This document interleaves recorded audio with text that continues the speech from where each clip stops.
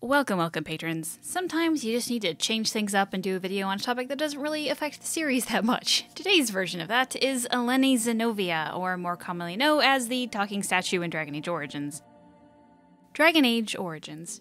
So while you meet her no matter what, a mage warden will meet Eleni Zinovia in their origin during Jowan's doomed attempt to free himself and Lily of the Circle Tower there really isn't much the statue does in the opening other than introduce herself and freak Lily out, so we're just gonna move on to when everyone else meets her in Witch Hunt, where she, where she really shines.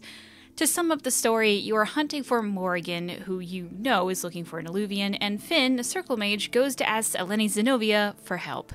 When you get down there, the veil in the circle basement has torn and spirits are going haywire, so she is freaked out by what's going on and starts to say some odd things after defeating the rifts. And no, we're not going to talk about how that could be, as the series just assumes that this isn't a big deal, and so are we.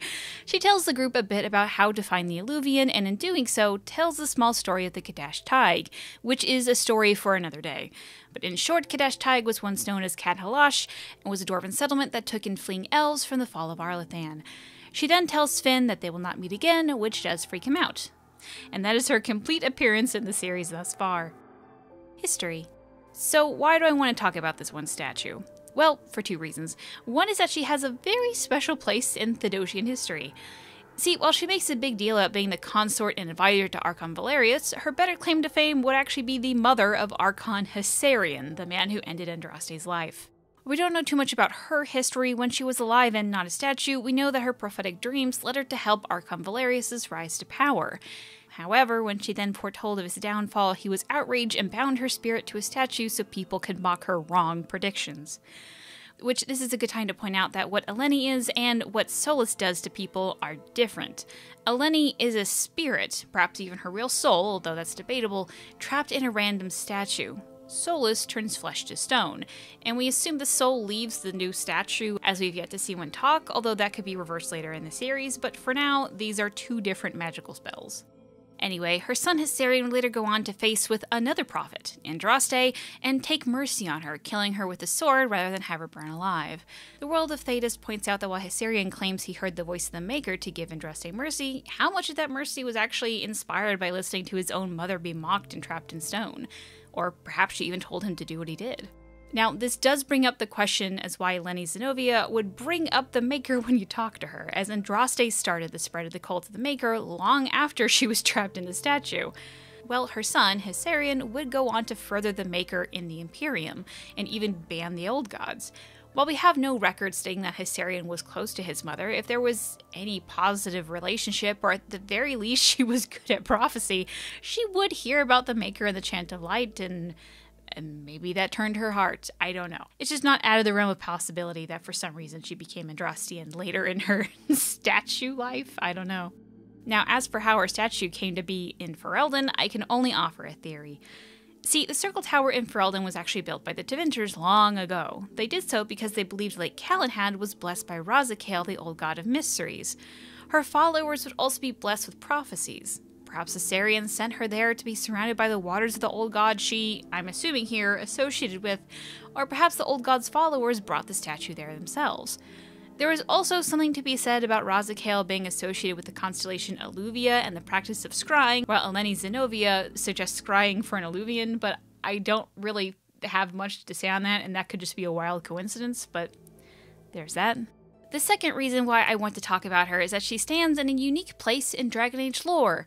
She's sort of a theory red herring, and this is a little bit of strange wording because I can't find the right words for it. But she sounds mysterious and gives a few, perhaps interesting lines, but she doesn't actually say anything. Honestly, when Jowan makes fun of her, saying that what she says is so vague that even he can do it, he's probably more right than he has ever been in his entire life, or at least in the game. In a forum post, both Mike Laidlaw and David Gaider posted about Zinovia. From Laidlaw, I'll give you this. There's something to Eleni's prophecies. They're not completely random. What she's talking about, though, well, you'll have to wait and see.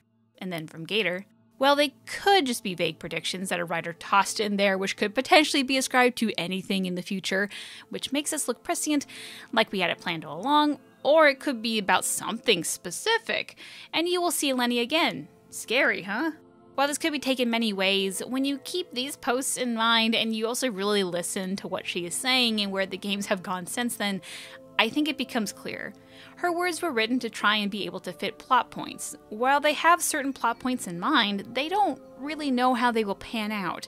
So, really, the best information her words can ever give us will be that the vague sense that something big will be happening or has happened in Thedas, which, in the big scheme of things, is actually incredibly unhelpful. Now, out of everything she says, which honestly isn't much, but the one thing that she has said that's been talked about the most is this line Weep not for me, child. Stone they made me, and stone I am, eternal and unfeeling. And I shall endure till the Maker returns to light their fires again. Well, some have taken it to be that she has foretold of the Maker's return, I really read it as that she will be there forever, as if the Maker is not real, then he cannot come back. So, like Stone, she'll be there for eternity. So, it's not really that she's predicting the Maker will come back, even though it is possible. It could be another way instead, and that applies to everything she says. And that, dear patrons, is all that I have on the mysterious statue in Kinloch Hold. If you still have lingering questions, proof that I'm wrong, comments about your own fan theory, feel free to tweet me at, at GhilDirthalen on Twitter or send a PM to user Ghilannain on Reddit. Dareth shiral.